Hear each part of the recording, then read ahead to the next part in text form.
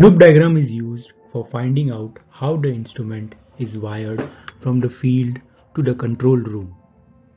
When wiring an instrument from the field, it passes through different junction boxes. To trace a loop from the control room to the instrument becomes a difficult task.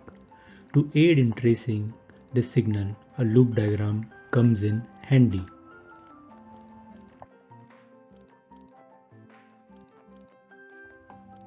A loop diagram consists of two parts. One is the field area and the other is the control room area. The loop diagram shows the signal passing through the various junction boxes to the control system.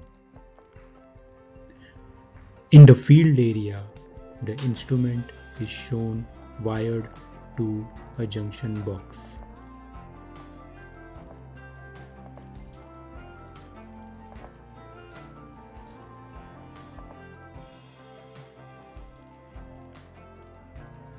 The second part of the loop diagram is the control room. After wiring to the junction box, the signal passes to the HMI through a marshalling panel.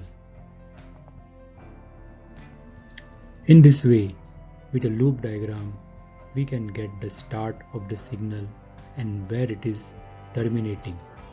This comes in handy when we are in the process of commissioning. Don't forget to download the loop drawing file for your reference. And if you want to have more knowledge about instrument and control design, do visit the course in the link.